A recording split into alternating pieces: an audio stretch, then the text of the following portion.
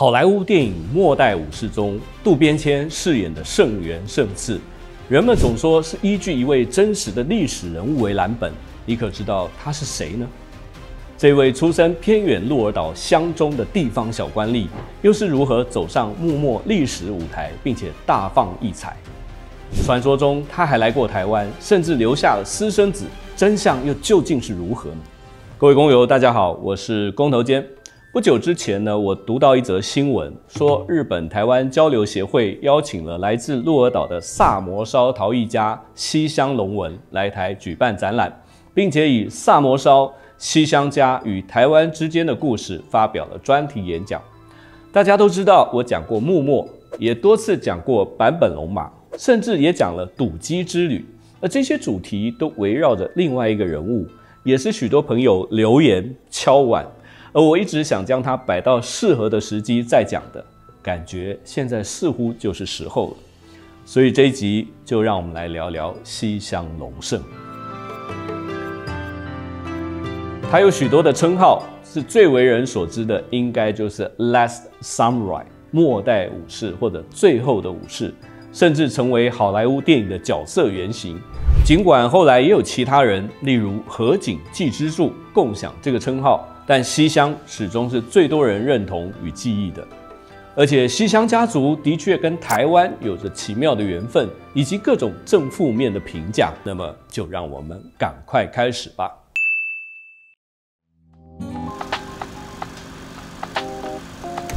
西乡隆盛 （Saigo Takamori） 出生于日本文正十年（一八二八年），再过几年就是他诞生两百周年的纪念。作为对照，他比坂本龙马年长八岁。他出生于萨摩藩鹿儿岛城下加治屋町下级凡士的家庭，父亲西乡九郎及兵卫，官职是御勘定方小头。古人往往有许多的名字或者号，甚至因为任务需要的化名多了，大家记不住。只要记得西乡早年叫做吉之助，而后来常用的号为南州。至于隆盛呢，其实是他父亲的名字。明治维新王政复古的时候，政府要颁给西乡位阶，而他的好友竟然写错，那他也很大气，隆盛就隆盛吧。于是就成了我们熟悉的西乡隆盛。西乡出生跟成长的加治屋町是现在鹿岛市的一个小小的街区，等于是台湾的里，而这个町人才辈出。司马辽太郎曾经写道：“说起来，从明治维新到日俄战争，可说是一个丁完成的事业，其实还真不夸张。这个加治屋丁在哪里呢？之前赌鸡之旅的影片当中也有提到，它就在鹿儿岛中央驿的对面。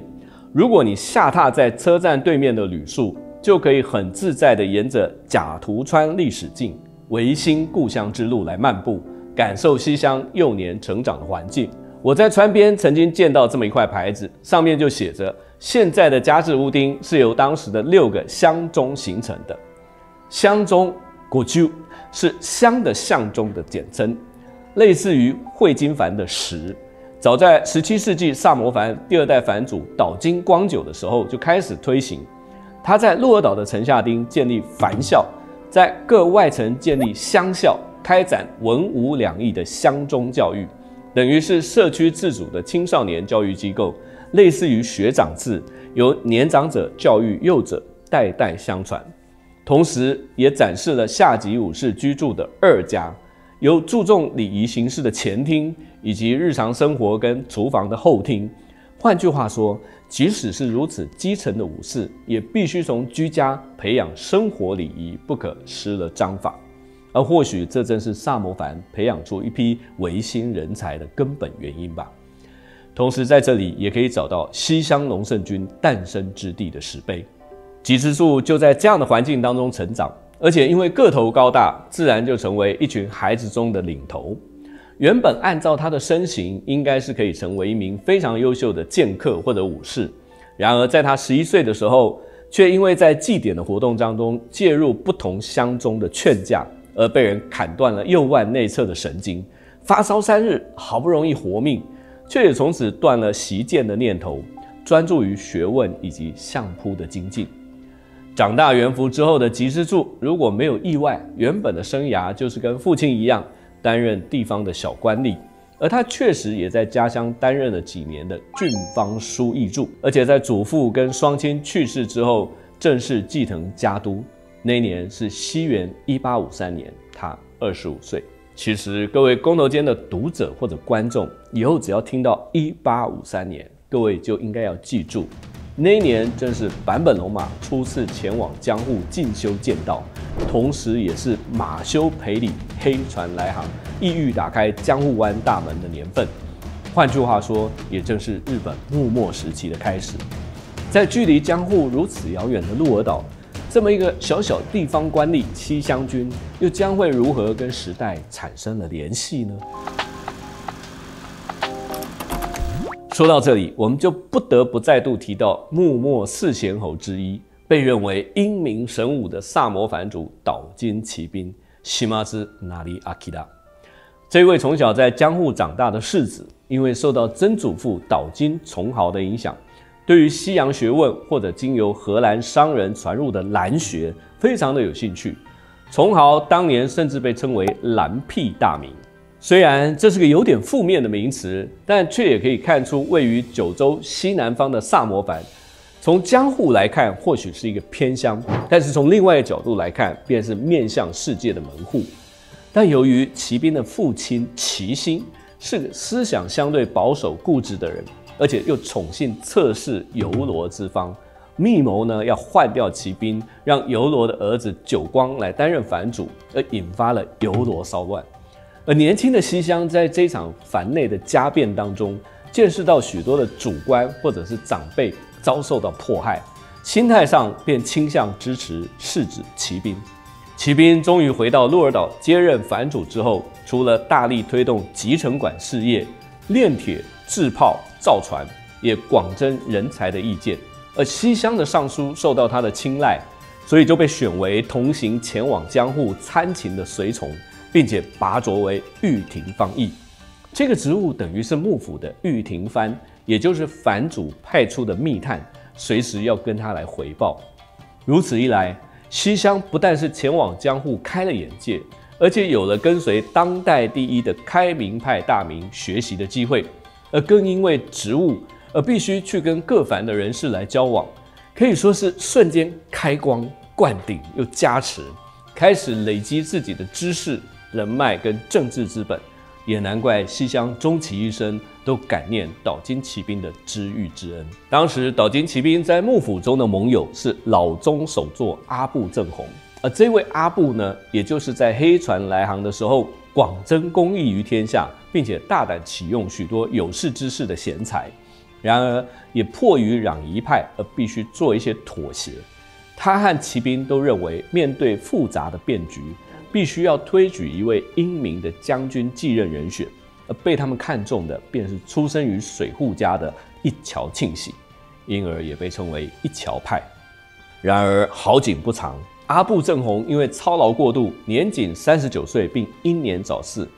顿时失去有力支持者的骑兵，也正因此而想到必须要把养女于一嫁入到将军家，继续策动让庆喜来祭祀。这可以说就是于一成为赌姬以及玉台所的缘由。而在这个过程当中，西乡也就被指派为保护或者监视赌姬，并为他操办嫁妆的任务。在大和剧《西厢殿》谁过洞当中，也描述了西厢跟赌姬之间似有若无的依赖和情愫。当然，这应该是编剧的想象，毕竟身份有别，西厢应不至有此遐想。但两人的同乡之情，以及曾经为同一个目标而努力的过程，依然为遥远日后的关键历史事件奠下了基础。此处就表过不提。而同样在剧情中也描述西乡在花街结识了隐姓埋名出来花天酒地的一桥庆喜，这当然也是为了戏剧效果。然而他在江户的确结识了一位非常年轻的当代有识之士，那就是越前福景藩松平春月旗下的藩士桥本左内。桥本左内哈西莫多萨奈跟长州藩的吉田松阴齐名，都是当时天下之英才。他曾经师事于大阪的蓝方一，也就是西医旭方弘安，这个名字好熟悉，对不对？因为他曾经在仁医的剧中出现过。相信西乡也从比他更年轻的左内的身上学到许多对世事的观点。我曾经在旅途中遇见桥本左内在京都二条的寓所，也在福井市见到纪念他的左内公园跟雕像，更曾经亲访他在日后的安政大狱中跟吉田松阴被斩首的船马丁劳乌夫，所以看到这段情节更是有感。而在骑兵参勤结束、交代回返之后，西乡仍旧留在江户藩邸，继续为了联系各地一桥派的大名跟人士来奔走。而就在一次携带赌姬的书信前往京都进城给近卫中西，也是赌姬另一名养父的时候，他又结识了学问僧月照。月照大师当时是清水寺成就院的住持，按理说应该不问世事。但他却是一位坚定的尊王攘夷论者，因此也将西乡视为肝胆相照的同志，未来两人也将成为生死之交。西乡就在这些比他年轻或者年长的当代的有识之士以及饱学之士的影响下，慢慢养成了自己的中心思想。听到这里，或许有些人会产生疑问，说：“哎，岛津骑兵不是热爱西洋事物吗？”那不是应该支持开国吗？那怎么他来往的对象都是一些攘夷派的人士呢？其实从这一点啊，就可以看出当时幕末情势的复杂，绝不是单纯以开国派或者攘夷派可以简单的区分。或许可以这么理解，就是幕府虽然跟欧美列强签订通商条约，似乎倾向于开国，但是仍想将跟外国交流的权利牢牢抓在自己的手上，不允许各藩来插手。而类似像骑兵这样有世界观的大名，甚至凡事深知世界之辽阔，当然不希望迎向世界的窗口完全被幕府垄断，甚至沦为列强的殖民地。永历一桥庆喜，就是希望未来自己也能有参与中央政事、外交或者通商的机会。因此，在这个阶段，跟尊王攘夷论者的联合，可以说是一个阶段性的策略。不知道大家看到这里。是不是又跟当下的政经局势有什么样的联想呢？无论如何，迎向世界应该都是当时有识之士心中最迫切的渴望吧。而说到这里呢，就必须提到一段关于西乡隆盛的传说，并且做一些历史的考证了。而这也将是西乡家族跟台湾的第一段渊源。根据一九三零年代一本由入江文太郎撰写的《西乡南州翁基隆苏澳侦查》一书，记述了一段关于西乡来到台湾的南方澳，并且跟当地的原住民女子生下一名私生子的记事。据说这本书在宜兰县史馆能借阅到影印本，但是也模糊不清。然而在宜兰县政府的网站上面，苏澳政治的 PDF 档案中，仍煞有介事的有一篇。传说西乡隆盛在南方澳的一段历史，由于史料珍贵，容我尽量完整引用相关的段落。文章说到，在一八五零年冬，二十四岁的吉之助在反主尽烈的山区放了一把火，主公一怒之下判他流放异地一年，但这其实是苦肉计。次年春天，瞒过幕府的耳目，接受岛津骑兵的密令，沿着琉球群岛南下。首先来到基隆的社寮岛，发现清廷设有海关把守，于是继续南下，绕过乌石港跟东港，也就是苏澳港，到达南方澳的一个没有人看守的白沙海滩，偷偷上岸，躲进保证刘马住家放渔网的小屋，小屋里面住着一个老翁，跟他十七八岁的熟番跟生番的混血女儿，名叫罗莫。西乡帮忙修补，三个人一起生活，朝夕相处。不久就跟罗莫发生了感情。他一方面以渔夫作为掩护，另一方面积极地探查地理环境。半年之后，罗莫怀了西乡的孩子。再过半年，西乡和主公约定的时间到了。又一八五一年秋天，西乡突然不告而别，离开了南方澳，循着旧路沿着琉球回到日本。呃，几个月之后，罗莫生下了一名男孩，但因为想念西乡，抑郁而死。孩子就取名为刘武柱，由祖父一手养大。那祖父死后，同住的友人吴阿辉代为照顾成长。据《入江晓峰》这位作者的追查，刘武柱长大之后和西乡隆盛长得很像。结婚生子后，儿子取名为吴归立。而后吴归立因为南方澳辟建渔港，搬到大南澳浪速，也就是朝阳里。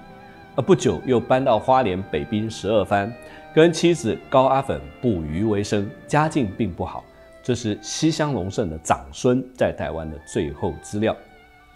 关于这段传说啊，多年来绘声绘影，地方人士更是坚信其有。而故事这个网站呢，也做过详细的考证。同时，Tony 的自然人文旅记的 Tony Huang 甚至写过一篇优美的西乡隆盛海角七号的文章。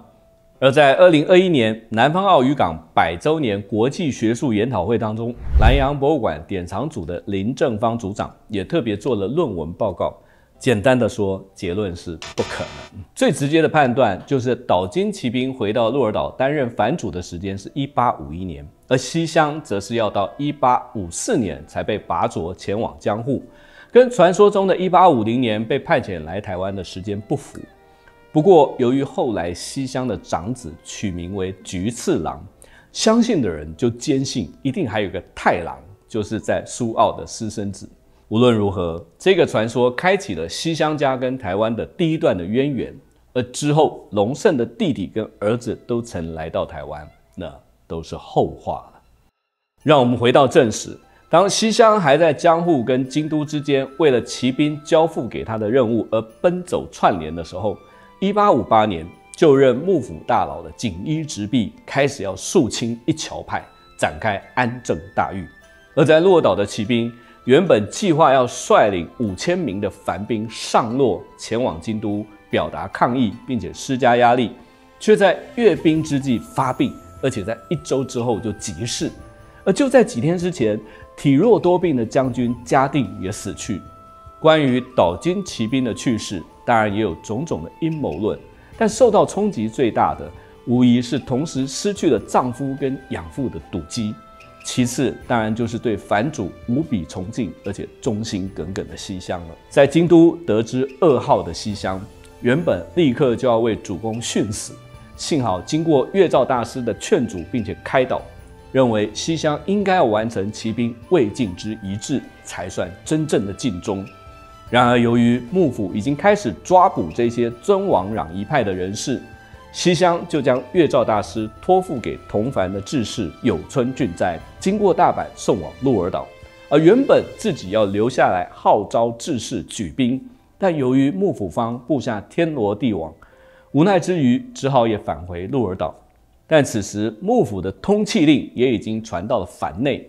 而这个时候新藩主刚就任，大权又回到了老藩公齐心的手上，他原本就讨厌骑兵派。又不想跟幕府为敌，就下令将月照流放去日向国，密谋途中将他杀害。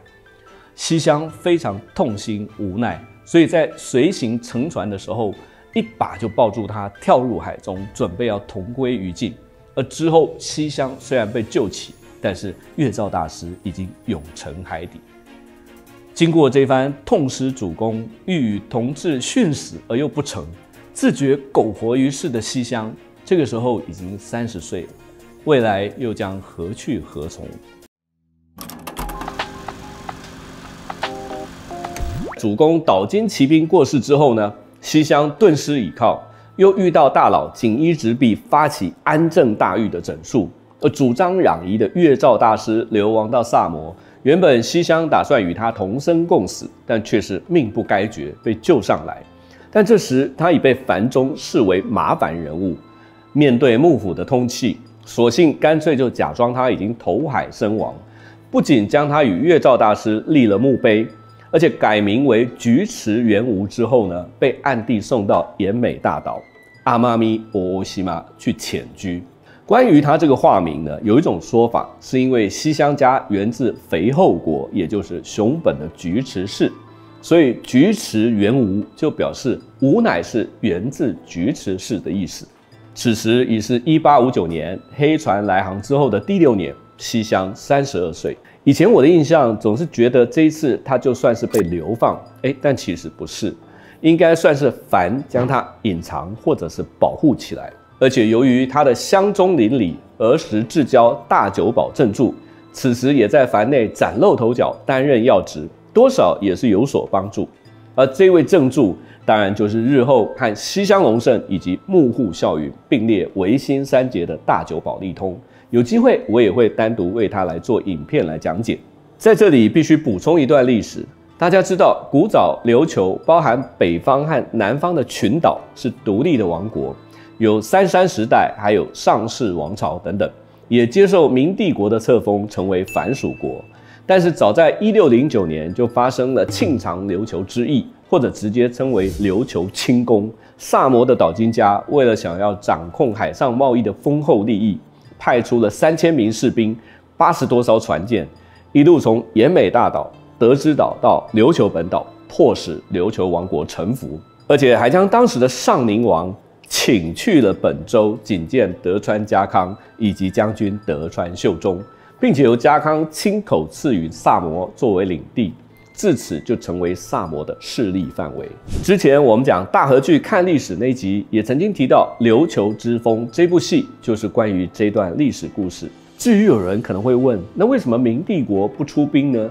哎，这可能就要另外再谈，否则西乡真的说不完呐。无论如何，正因为有了这些群岛的掌控权，萨摩藩似乎很喜欢把人就流放到各个岛上去。西乡在延美大岛上，从三十二到三十五岁，和当地人一起生活，同时也有了一位岛妻艾加纳阿伊卡纳，会有另一个说法叫做阿里卡纳，先后生下一子一女，用化名菊池元吾的菊字。分别取名为菊次郎 Kikujido 以及菊草 Kikuso。好，来，大家有兴趣的来了。为什么这个男孩明明是西乡的长子，却要取名为菊次郎呢？上集我们讲到关于他年轻的时候来到台湾南方澳有了私生子的传闻，相信的人就信誓旦旦的说：“哦，那个才是太郎。”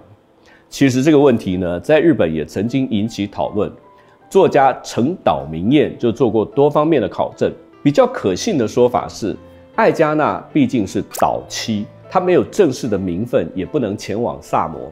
尽管此时西乡已经和萨摩的先妻须贺离婚，但是未来可能还有正室，必须把继承家督的位置留给嫡长子，所以才取名为菊次郎。而这个说法也被大和剧《西乡殿》所采用。这位西乡菊次郎之后，我们还会讲到他，此处就先表过不提吧。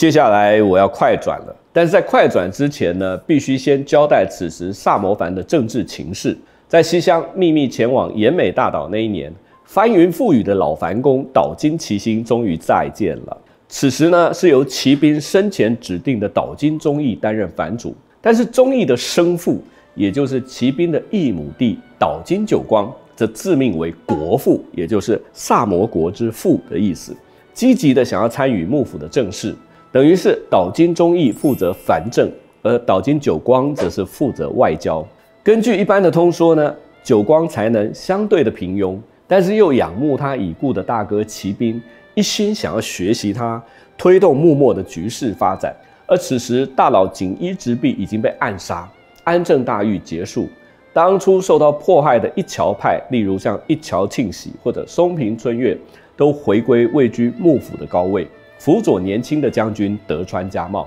然而，由于安政大狱所引发的各藩志士或者浪士的天诛、暗杀、举兵等等的行动，也是层出不穷，暗潮汹涌。在这样的局势之下，大久保利通极力建议久光把西乡从延美大岛叫回来。以他过去辅佐骑兵的丰富经验来应对复杂的情势，于是三十五岁的西乡离开妻儿，重返萨摩。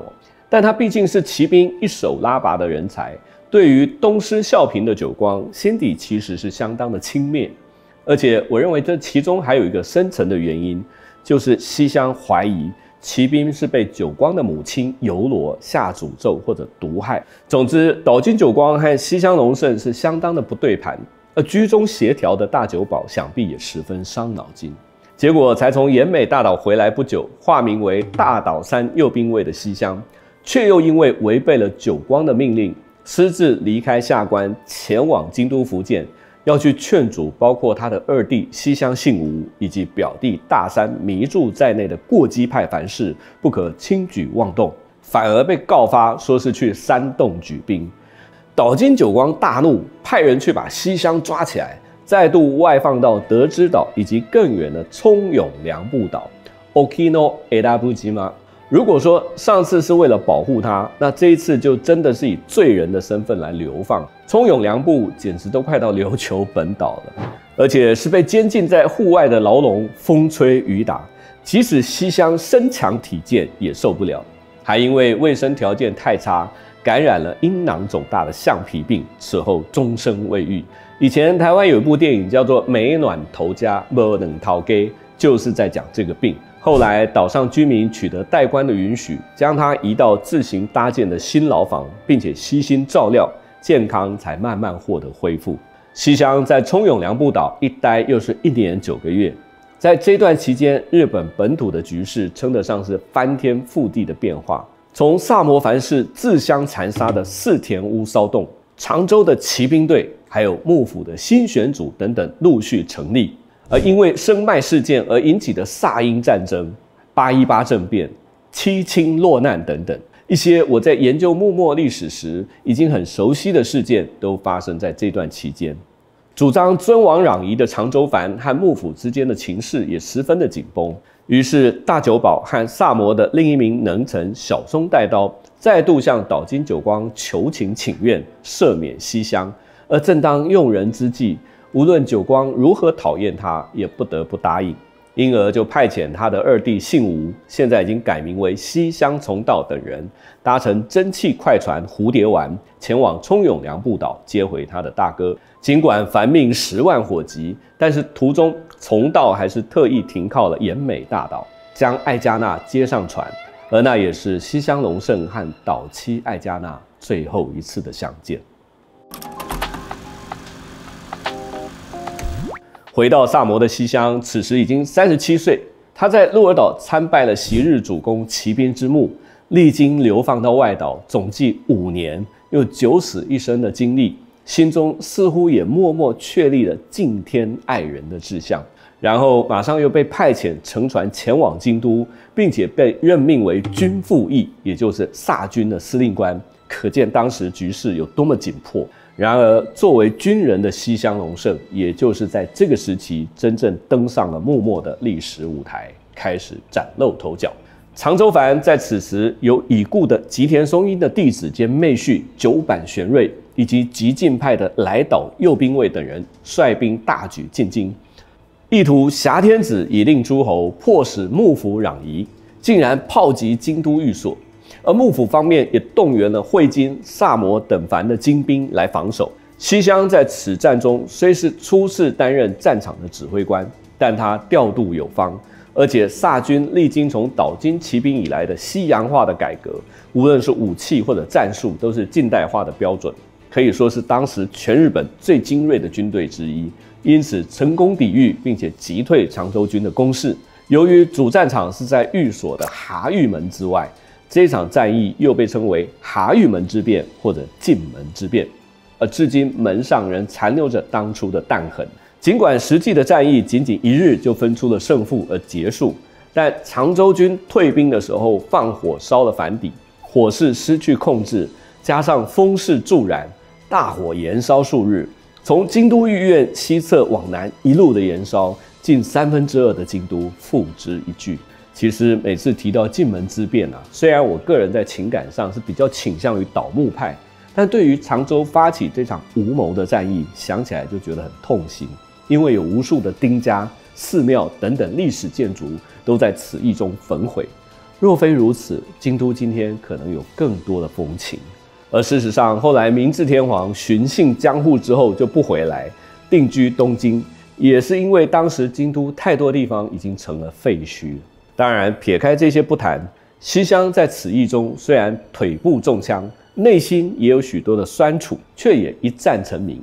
成为同时守护天皇以及幕府权威两方最大的功臣。随即又被任命为征长军，也就是征发长州军的参谋。由于征长总督德川庆盛仅仅是象征的挂名，西乡等于是实际上幕府方联军的总指挥。以当时的情势来说，真是非常不凡的际遇。听到这里，或许有人会好奇：哎，那你不是最喜欢讲龙马吗？怎么本集讲到这里都还没有见到他登场呢？事实上，在这段期间，坂本龙马正在协助他的恩师盛海舟成立神户海军操练所，募集许多各凡的志士以及浪士，努力学习航海知识。但他也感受到其中许多激进派的不满日益升高，总有一天要出事。果然，经历了池田屋事件和进门之变之后，由于操练所的成员参与其中，而被幕府下令关闭。然而，盛海舟在被罢免之前，曾经以军舰奉行的身份建议西乡不要对长州采取强硬手段，也被西乡谨记在心。因此，在前后两次的长州征伐中，都尽量避免正面开战，而是对长州宽大处理。而这些过程的种种细节，都是让原本有着不共戴天之仇的萨摩跟长州，日后竟能私下结为萨长同盟。共同对抗幕府的关键因素，而也因为这层关系，在盛海州被罢免，海军操练所解散，龙马带着一群伙伴不知何去何从的时候，由萨摩藩出面保护，后来还出资成立龟山社中，至此，幕末的天下豪杰终于走到了一起。如果我们来深入揣摩当时西乡的心境，他从一介外岛的流民。因缘际会的成了幕府一方的军队指挥官，而他仰慕的主公岛津骑兵当初所力挺的一桥庆喜，也掌握了幕府的实权，后来甚至如愿的成为将军。按理说，西乡此时应该要感到欣慰才对啊！但从他三十岁起的人生经历，包括失去了许多朋友、同志，乃至于自己被流放，甚至身患痼疾，背后其实都有幕府的阴影。这些大佬或版主高高在上，未曾真正愿意倾听志士们的理想跟心声，而只要有可能影响到威权统治，就除之而后快。像西乡这样一个有着宽阔的胸怀，又是曾与基层百姓跟外岛居民生活过的人，当有了自己的思想跟理念之后，想必是无法认同幕府的行事风格。我相信这才是他才刚刚获得幕府委以重任，却又谨慎地保持距离。甚至渐行渐远的原因。当然，在此时，由于西乡戴罪立功，名震天下。当他荣归鹿儿岛之时，就在小松带刀的牵线之下，迎娶了藩内家老做书役的女儿伊托狮子。这算是西乡有记录的第三任太太，而狮子只是再婚。他为西乡产下了三子。日后也先后养育从岛上接回来的菊次郎和菊草，可以说是一位传统的女性。而从她晚年留下的相片来看，是一位相当清秀的女士。很多年后，当西乡被平反，明治政府为她在上野公园建立铜像的时候，参与典礼的狮子一直对西乡重道说：“这不像我先生。”而这段情节也被作为大和剧《西厢殿》的开场。但至于到底哪里不像，狮子也没有说明白，又为西乡的容貌增添了一个谜团。此时的西乡三十七岁，和大久保利通频繁地往来于京都和鹿儿岛。而由于过去被认为是最拥戴天皇的长州，因为晋门之变而失势，幕府意图杀鸡儆猴，也算是警告西方雄反。萨摩感到唇亡齿寒，反而为了维护长州而积极秘密的斡旋。也就在此时，原本作为盛海州代理人的坂本龙马开始有了自己的行动和主张，并且和西乡建立了不错的友谊关系，还曾与西乡共同前往萨摩的家中做客，也和小松带刀熟识起来。说到这位小松带刀，是一位非常年轻的贤才，可惜也是英年早逝，日后被称为幻之宰相。另外还有一位志士，也是必须提到的，那就是龙马的同乡。日后的陆援队长中冈胜太郎，也大约是在这个时期开始秘密推动萨长同盟。一般都将萨长同盟归功于龙马，但近年来中冈的历史地位日渐被重视。若是没有他和常州志士们多年的过命交情，光凭龙马是无法完成的。经过了半年多的奔走跟协调之后，一八六六年二月，据考证是在京都的小松带刀宰敌。西乡隆盛和桂小五郎分别代表萨摩和长州藩签订了萨长同盟的六条密约。桂小五郎并且要求龙马在副本的背面签名画押，作为见证人。原本是可喜可贺之事，但是这个时候已经被幕府盯上的龙马，随即在福建四田屋遭到袭击，险些丧命。西乡下令萨摩藩邸出兵将伤重的龙马救回来保护，之后还护送他和妻子阿龙到鹿儿岛去养伤。而这段情节呢，我都写在公头间的《龙马之旅》书中，欢迎大家买来阅读。呃，偶尔也是要为自己夜配一下。其后，幕府依然下令要第二次讨伐常州，但已经有密约的西乡当然就留了一手。再加上常州方面有高山静坐领导的骑兵队，以及崭露头角的天才参谋大村义次郎，双双将幕府击败。在此紧要关头，年轻的将军德川家茂却又在大阪城病死，只能说人事与天命皆不在幕府这一方，只好休兵。几个月之后，坚持攘夷的孝明天皇也逝世，幕府的局势再度翻过了一页，即将迈向最后的篇章。此时正是一八六六跟一八六七年之交，也是我出生前的一百年。西乡隆盛迎向了盛年的四十岁。根据记载呢，这个时候他在藩内的官职被授予了大幕府、陆军挂，还有家老座出席。等于是准家老的地位，而大幕府又被称为大监察。作为对照，德川幕府初期有一位很有名的剑术家柳生宗举，在幕府也是担任这个职务。这是一个负责监察藩内各家的角色。但是西乡就以健康为由婉拒了。那合理的推测呢，是以他的个性是不愿意破坏同藩的情谊吧。而一八六七年也是日本近代史上非常重要的一年。几乎是一种快转的速度，发生了许多的事件。此时，一桥庆喜已经继任为将军，也就是末代将军德川庆喜。明治天皇也在这一年初登基，而幕府跟佐贺藩还有萨摩藩还派员参与了巴黎万国博览会的展出。从这点也可以看出，当时在欧美列强的心目中，日本等于是一个类似邦联或者是合众国，各藩都是独立的个体。德川家只是其中最大的藩或者是共主，并不代表唯一的中央政府。那幕府对于这样的情况当然是恨得牙痒痒的，但却又无计可施。当时法国支持德川家，而英国呢，则是暗中支持以萨摩为主的雄藩。西乡隆盛作为军力最强盛的萨军指挥官，当然也就举足轻重。那根据通说，此时的西乡和大久保心中是以倒幕，也就是打倒德川幕府为终极目标。但倒幕之后，究竟要采取什么样的政府体制，其实并没有明确的方向。或也有可能成立岛津幕府，甚至在列强支持下演变为又一次的战国时代。而类似像坂本龙马这样体制外又具有国际观的志士，便积极的想要避免发生内战。所以私下推动大政奉还，试图透过跟幕府友好的土佐藩、老藩公山内荣堂劝说德川庆喜主动将政权交还给天皇。那这里就有个疑点，就是西乡为什么非要用武力打倒德川幕府不可呢？大和剧《西乡殿》试图给出一种解释，说是他从很早就私下认识庆喜，深知庆喜的为人反复无常，而且自私自利。我也是看到后来才理解，哦，为何编剧要安排他们提早认识？原来就是为了要铺成这个背景啊。而西乡分别跟土佐藩主和派的后藤象二郎，以及主战派的板垣退助跟谷干城，同样在京都的小松带刀底签订萨土盟约跟密约，却似乎也显示出他也有权谋的一面。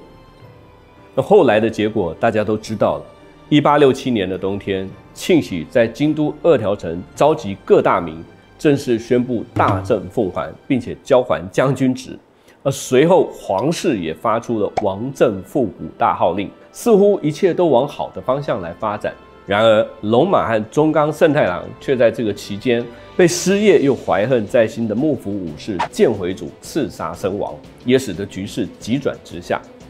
关于龙马究竟是被谁暗杀，无论是在之前影片下方的留言，或者是我曾经为了公头间的龙马之旅举办讲座的时候，都一定会有人问。的确，关于真凶阴谋论非常多，甚至有一派说法认为是因为萨摩藩武力倒幕的进程被大正奉还搞乱，因而必须除掉这个障碍，暗指西乡或者是大久保是幕后的黑手。然而，我们一路说来。以西乡的人生阅历以及个性，按常理来说是不至于下此毒手。但也有人说，是因为他们发现龙马是英国共济会的双面谍等等。那这就留给热爱阴谋论的朋友去研究。无论如何，龙马被暗杀身亡后不到两个月，事态急剧的激化。原本庆喜的计谋可能是以退为进，虽然辞掉将军，但断定皇室跟公卿无力治国。终究还是要回头来求他组成执政团队，但是西乡却不让他有这个机会，私底下找人在江户的反底挑衅，创造冲突，逼迫庆喜在内部压力下，为了展示将军的权威，不得不战。于是他从二条城转进大阪城，指挥青幕府的联军，包括会津藩以及新选组等等，向京都推进，在鸟羽、福建一带。遭遇了由萨摩长州土佐组成的新政府军，长达近一年半的幕末最后战役——戊辰战争就此拉开序幕。关于戊辰战争的细节，我们在此就不深入，未来会以幕府方的角度来谈另一种观点的幕末，再来细说，先留下一点悬念。但说到这里，都还是不免要提一下。当年《神剑闯江湖》电影版第一部的开头，正是以鸟羽福建之战血腥的场景为开头，想必很多人也都还有印象。聚焦回到西乡隆盛身上，他此时在新政府军或官军的职务是东征大总督府下参谋，但和之前讨伐常州一样，总督和上参谋都是由皇室或者公家来挂名，西乡等于是实质上的指挥官。在戊辰战争中，他最著名的事迹，就是在开战两个半月之后，幕府军节节败退，官军迅速推进到江户。眼见江户总攻击的大战一触即发，很可能重演之前进门之变烧毁大半个京都的悲剧。此时，据传两任前将军的御台所、天章院笃基以及静宽院河宫内亲王，分别以书信劝说。并由当时被重新提拔为幕府陆军总裁的盛海舟出面，与西乡隆盛协商，达成了江户无血开城的共识。现今在东京地下铁的山田站外，还留有西乡手书的“江户开城，西乡南州盛海舟会见之地”的石碑。尽管在江户，实际上仍有张义队盘踞上野，与幕府军短暂对抗；而在挺进东北的北越战争中。还遭遇另一名最后的武士河井纪之助所采购的最新武器，包括加特林炮的反击，致使西乡痛失二弟齐二郎。整个戊辰战争要到隔年北海道五棱锅陷落才算真正的结束。然而大势已定，西乡隆盛毫无疑问是倒幕战争的最大功臣，似乎注定要成为明治政府的中流砥柱。然而后续的发展却非如此的顺利。从一八六七到一八七七，也就是明治元年到十年，西乡隆盛四十到四十九岁，也是他生涯的最后十年。由于促成维新有功，他和大久保利通以及当初和他签订萨长同盟密约的桂小五郎，现在改名为幕户孝允，并称为维新三杰。而原本西乡在战争结束之后，除了该有的勇士封赏两千担之外，并不接受任何的官职。而是选择回到鹿儿岛，买了新的地跟房子。哎，这个地方我也去看过，归隐田园，协助藩政改革，并且致力于对阵亡将士家属的协助还有抚慰。这个时候也看得出来，他确然是身体力行、敬天爱人的座右铭。而如果就这样成为一个地方士绅，似乎也相当惬意。然而，有些人是因为个人野心而不甘寂寞。而有些人却是被社会大势所迫而身不由己。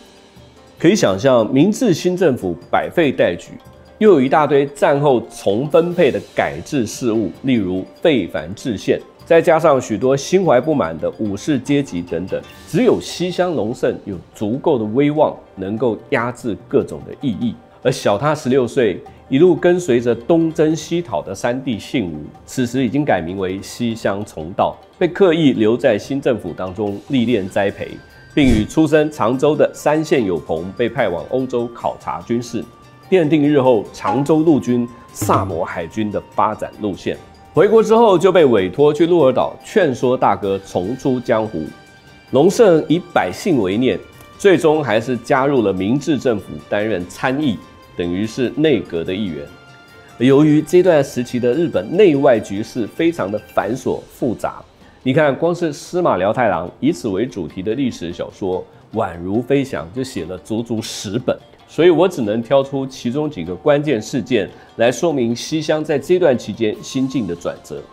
在明治五年，西乡曾经随着天皇巡视日本的西国地区，相处整整两个月的期间。当时明治天皇才二十岁，想必也建立了相当的信任。好莱坞电影《末代武士》中就有表现天皇对叛将圣元有一种亦师亦臣的情感，想必也是基于这段史实的改编。另外，关于西乡后期生涯当中非常有争议的一个事件，就是他介入了征韩论的政变。这里必须要说明的是，主观上我对于任何对外甚至对内的出兵，当然都是不赞成的，因为任何的征讨都会造成人命的损失，受苦的往往都是双方的百姓。但人类的历史又是一段几乎不曾间断的战争史，作为一个历史的阅读者，也只能从时代背景去试着解读。而如果用最简单的说法，明治维新的目的无疑就是要让日本能够迎头赶上欧美列强。而在十九世纪末的当时，成为列强的条件之一就是拥有许多海外领土或者是殖民地，很自然的也就成为他们追求的目标之一。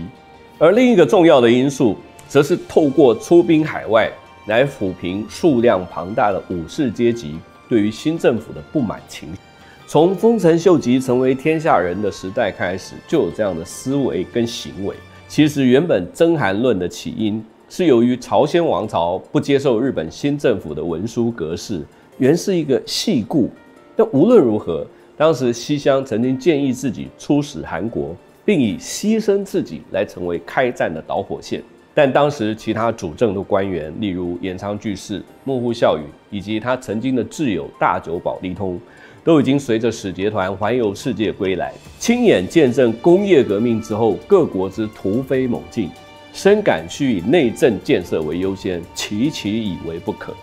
据说大久保甚至私下给子女写了遗书，如果好友不接受，便打算死谏。由于西乡在之前就主张武力讨木，而如今又支持征韩论，似乎给人就留下了一介好战的武夫之印象。至于是否如此，就看你要从什么角度去解读了。经过这场论争之后，以西乡为首的征韩派被压制，纷纷辞去官职，称为明治六年政变。而他下野之后，返回鹿儿岛，此后大半的时间都在武村的自宅度过。然而士族们，也就是原本的武士阶级，被激起的不满情绪，还是无法放过他，直到生命的最后。以我的理解，当时明治政府之所以反对征韩，还有一个原因，也是朝鲜王朝毕竟仍是大清帝国的藩属，而清帝国当时业已开始洋务运动，进行了各种西化的改革，并且建立了新式的陆海军，在不清楚实力的情况之下，还是有所忌。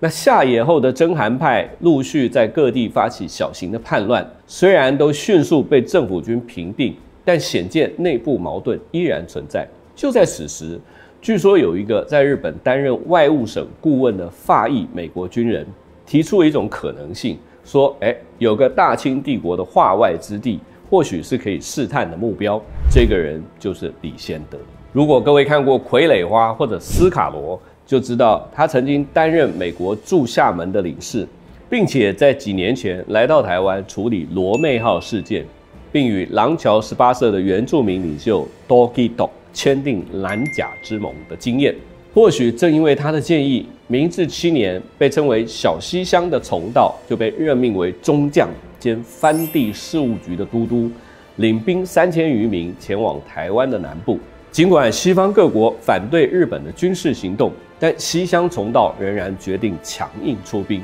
被称为是大暴走。或许也可以视为是呼应大哥征韩论的一种表态吧。这是日本在明治维新之后初次对外出兵，也就是我们现在所谓的牡丹社事件。双方互有伤亡，而日军在优势武力下战死十二人，却因水土不服病死了五百多人，也算是一种教训吧。同时又耗费六百万元以上的巨额军费，只好透过外交的手段跟清帝国来和解。并且在该年的十一月撤兵，是非成败暂且不提。而如果加上此前西乡隆盛曾经来过南方澳的传说，这可以说是西乡家的男子与台湾的又一段历史的接触。大西乡自明治六年返回鹿儿岛之后，设立私学校，传扬武士道，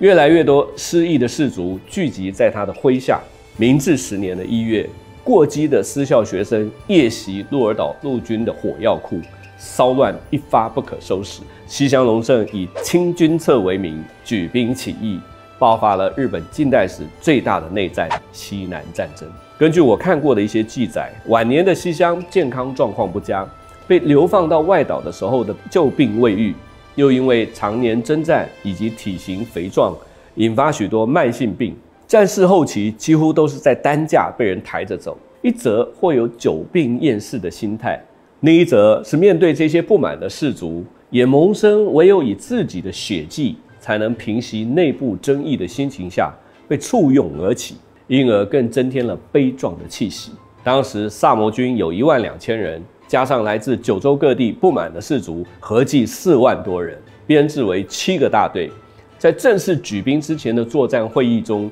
决议直接强攻熊本城。其实这就是个错误的决定。战争的细节我们不说太多，而熊本城在此战役中发挥的功能，也推荐大家回头看我专门介绍熊本城的影片。但在这场战役中，所谓的清君侧，要清的正是他昔日的至交大久保利通，而隶属于政府军阵营的将士，包括他的亲弟弟西乡重道和表弟大山岩在内，甚至包括熊本城的守将谷干城，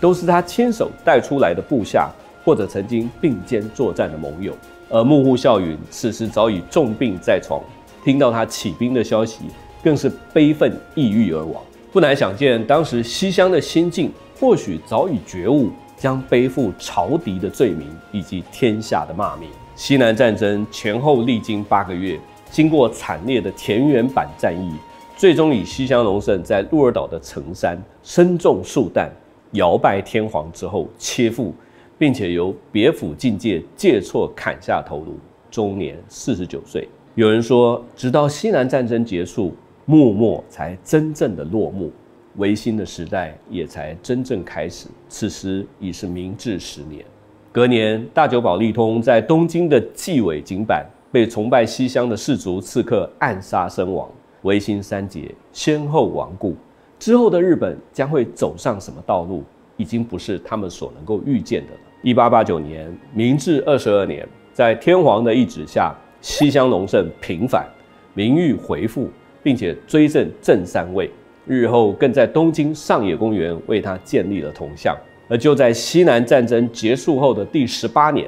富国强兵之后的日本帝国，在甲午战争中击败了清帝国的水师跟陆军，正式将当年西乡重道曾经出兵的台湾收为领土。从此走上与列强并肩的军事扩张之路，历经了两次世界大战，最终才在一九四五年付出惨痛代价之后彻底醒悟，成为今日民主同盟的一员。谈起西乡隆盛，可以说是欲罢不能。就在这三集影片的尾声，让我们把镜头转到一八九七年的台湾，此时已经是被纳入日本领土之后的第三年。有一位曾经在西南战争中因为小腿中弹而截肢，膝盖以下穿戴义肢，三十多岁的青年来到我出生的故乡宜兰。这位青年就是西乡隆盛在延美大岛上和爱加纳生育的长子西乡菊次郎。菊次郎在明治二年就被接回鹿儿岛的西乡本家，接受乡中教育。十二岁被送往美国留学两年半，十七岁以萨摩军的身份投入西南战争，负伤之后由老仆人熊吉背着逃亡。后来向叔叔西乡从道投降。隆盛死后，从道非常照顾菊次郎，安排他进入外务省，任职于美国大使馆和外务省的本部。一八九五年，马关条约生效。菊次郎受命代理台湾总督府的参事官，隔年出任台北县支厅长。一八九七年升任宜兰的首任厅长。西乡菊次郎在宜兰推动了许多基础建设的整备，并且整治河川，扩大耕种农地面积，修筑道路，发展樟脑产业，同时大力推动教育普及，改善治安。他担任了长达五年半的宜兰厅长。之后被调回日本担任京都市长。宜兰当地的民众士绅为了感念他，在堤防附近的民家的庭园里面设置了刻有西乡听县德政碑的高大石碑。后来在宜兰县文化局的努力之下，迁移到中山桥旁的堤防。我也曾去现场踏查过。或许还是有人会说，日本人就是侵略者，有什么好感念的？但是西乡菊次郎以他自己的努力。获得了百姓的纪念，却是不争的事实。西乡一家两代三人与台湾的奇妙渊源，尽管还有许多的细节，但就让我们先讲到这里吧。好的，以上就是本集的内容，记得按赞、订阅、开启小铃铛，锁定更多公投间观点的历史时事跟旅游话题。我们下次见。关于加入会员的费用跟细节呢，其实我们已经悄悄开启了会员的功能。那你点进来的话，就会看到一些内容。也欢迎大家继续支持公投，鼓励我去做更多更多元的这些影片的内容。我也先在这边感谢大家。